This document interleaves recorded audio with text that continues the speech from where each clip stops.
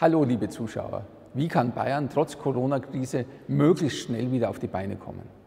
Nachdem uns während der ersten Infektionswelle glücklicherweise ein Gesundheitsnotstand erspart geblieben ist, gilt es nun nach vorne zu schauen und anzupacken. Hierzu haben wir Freien Wähler am Donnerstag in der Aktuellen Stunde des Landtages ein komplettes Maßnahmenpaket skizziert. So braucht es gezielte Wirtschaftshilfen für Zukunftsthemen wie Wasserstoff, Digitalisierung und Energiewende und eine Strategie zur Liquiditätsstärkung unserer Wirtschaft, etwa um feindliche Übernahmen aus dem Ausland zu verhindern. Vor allem aber dürfen Mittelstand und Handwerk nicht an Kraft verlieren, denn sie sind das Rückgrat unserer Wirtschaft.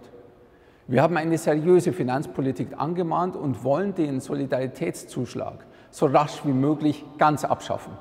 Außerdem gilt es, im Gefolge der Pandemie ein Wirtshaussterben zu verhindern. Deshalb muss die Reduktion der Mehrwertsteuer von 19 auf 7 Prozent für die Gastronomie dauerhaft gelten und nicht wie die GroKo in Berlin es will, nur bis Mitte nächsten Jahres. Zur Bewältigung der Krisenfolgen setzen wir auf eine starke Rolle der Kommunen. Ihnen fehlen wegen des Shutdowns Milliarden an Gewerbesteuern. Diese schwierige Lage nehmen wir sehr ernst und werben für ein bundesweites Investitionsprogramm, damit regionale Wirtschaftskreisläufe nachhaltig gestärkt werden. Den Katastrophenschutz wollen wir ebenfalls deutlich ausweiten, denn die Krise hat uns schmerzlich vor Augen geführt, dass Staat und Gesellschaft auf besondere Herausforderungen nur bedingt vorbereitet sind. Und wir müssen uns auch kritisch fragen, wie Arzneimittelengpässe verhindert werden können.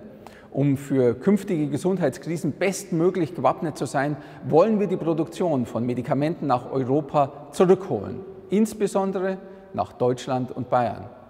Lernen aus Corona, Krise meistern, Zukunft sichern. Das haben wir uns auf die Fahnen geschrieben und freuen uns über eure Unterstützung.